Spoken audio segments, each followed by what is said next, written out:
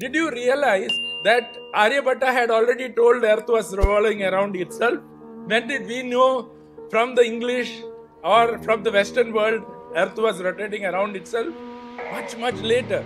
Earth was rotating because he understood that the concept of when a train is going and an observer is there, we don't realize whether the observer is moving or the train is moving.